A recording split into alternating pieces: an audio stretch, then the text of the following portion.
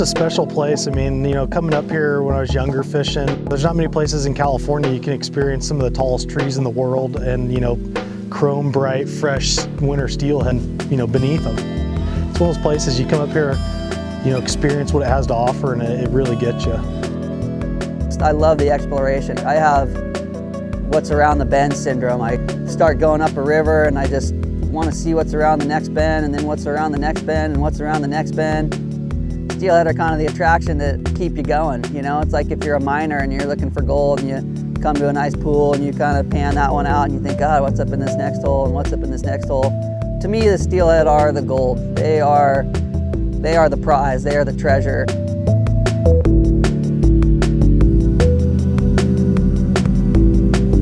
If you're really fishing for wild fish, it's kind of a mystery. It's a little bit of a crapshoot sometimes. You know, you're kind of rolling the dice. You got to get out and hunt them.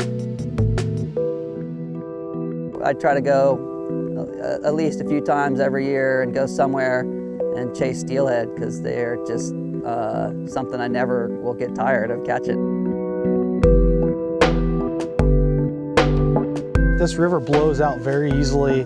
Um, it takes a long time to come back into shape. I mean, there's some seasons we get uh, just a handful of days on the eel.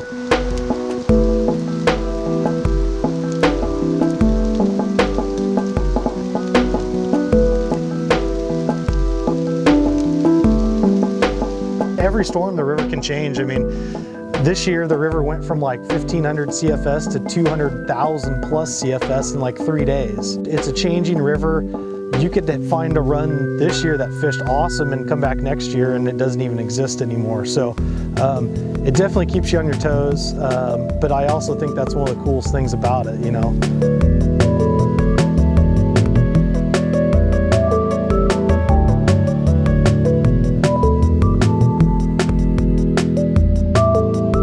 Huge system. It's it's one of the larger systems in California that gets, you know, runs a salmon and steelhead. The coolest thing about the fishery in general is just the fact that it's all wild, all catch and release. The fish in this system went from probably being one of the mo most prolific runs of like winter run steelhead, maybe even in the entire Pacific Northwest at one point in time, to almost being completely gone. And the fact that these fish were pretty much forgotten about for like 20, 25, 30 years allowed the species to recover. I mean, we, we haven't had hatcheries on the system in, in over 20 years almost. You know, the logging practices have changed, all catch and release, and it shows that wild steelhead will, will do their thing and, and will come back if we let them do that. And that's what I think other agencies and, and states need to look at is that the fact that if you kind of let these fish do their own thing, they'll make it happen.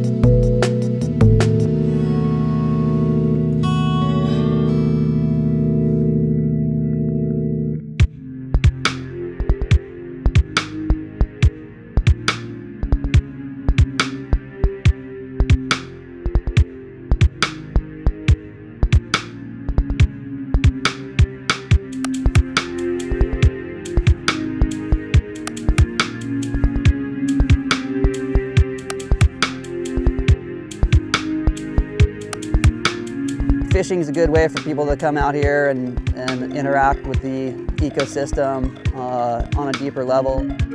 Chasing steelhead is definitely a, a spiritual experience. And um, you know to a lot of people it's it's like a religion. Uh, you know many many people equate the river to their church.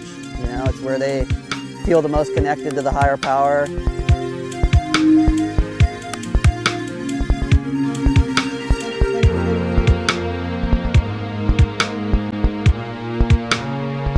Oh, nice.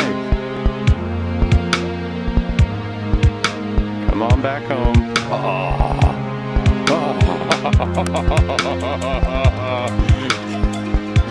Eel River. The swinging flies, you get the hottest fish in the river.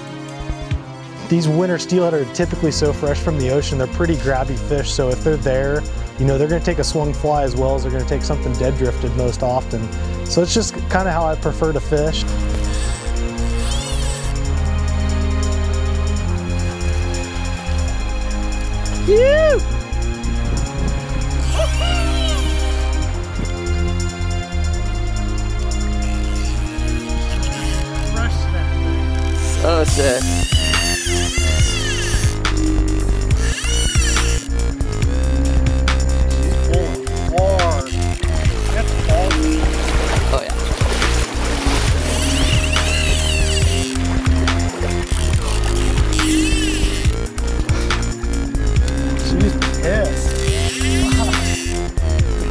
Too.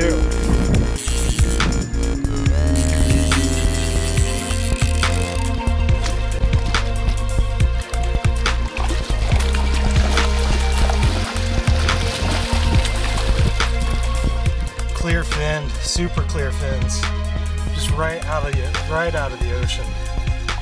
Awesome, special fish.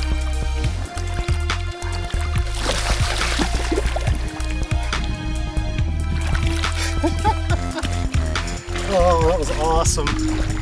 Old traditional. GP. These fish are hard to catch, and that's the, the lure of catching them is why I do this and why many people come up here to try to catch one of these, these creatures.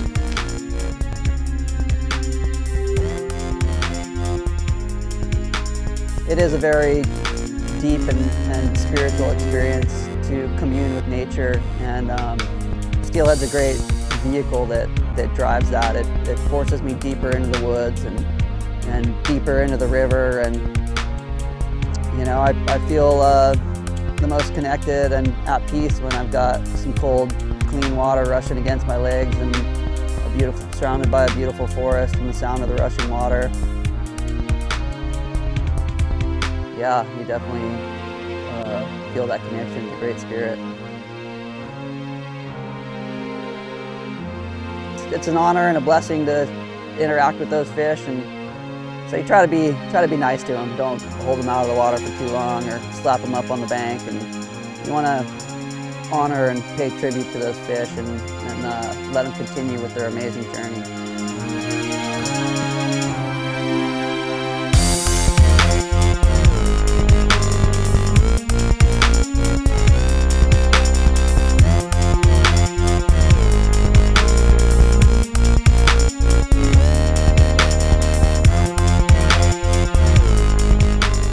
Important thing with the eel right now is we might be able to use the Eel River as an example for other rivers in the Pacific Northwest. If we let them do their thing, they're going to come back. And I'd like to really see rivers such as like the Elwha, the White Salmon, other places, you know, in the Pacific Northwest that have pulled dams and, and allowed the environments to, to kind of go back to being a wild river um, and give those fish time to come back. And I think, you know, those rivers can maintain good runs of fish. But if you don't give these fish time, it's not going to, you know, you're not going to find out what could happen.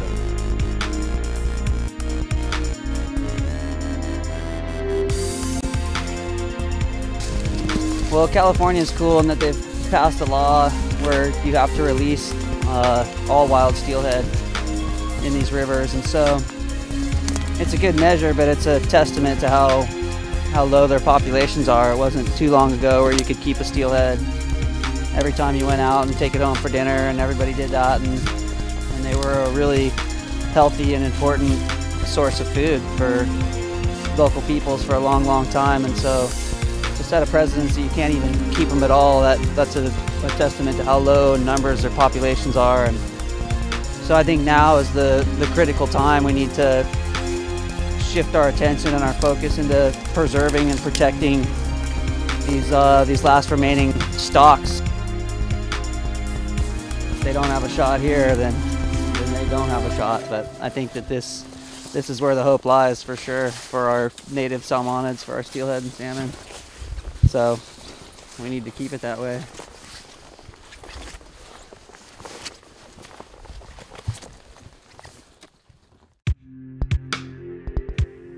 So if steelhead are important to you, there are ways you can get involved, become a member of an organization like California Trout, or donate some money the people that are out there on the ground doing the good work to restore and protect these fish for future generations to get to know and enjoy. And fish are important for the future of California.